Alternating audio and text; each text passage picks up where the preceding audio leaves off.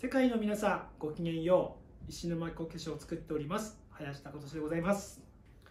えー、本日は感謝とご報告ということで少しだけお時間ください、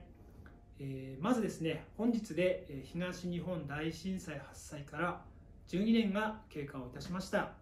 これまで世界中のたくさんの人からさまざまな形でご支援をいただきましたこと、えー、心より感謝を申し上げたいと思います。皆さんありがとうございました。えそして2015年の3月11日からスタートいたしました石巻こけし釣り釣り石巻も8周年を迎えることができました。8年間もこけし作りを続けてこられましたのはいろんな形であの石巻こけしをめでてくださる可愛がってくださる皆さんがいたからこそだと思っています。実際に、お迎えしてくださったり SNS でリアクションしてくださったり本当にありがとうございました。えー、これからもですね楽しいこけし作り面白いこけし作りかわいいこけし作り心がけて一生懸命に制作してまいりますのでどうぞよろしくお願いいたします、えー、そしてもう一つご報告でございます。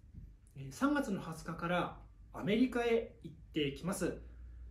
アメリカのミシガン大学様からご招待をいただきましてこけしの絵付けワークショップを開催してきます。